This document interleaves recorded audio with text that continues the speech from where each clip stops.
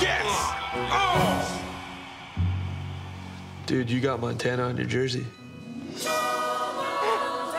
Montana! It is.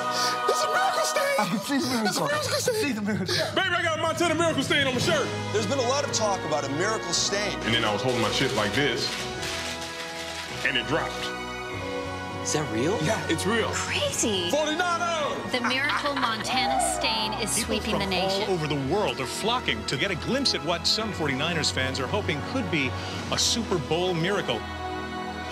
I saw the stain! All right, Right here, twenty dollars. here we go. Stain on a stick.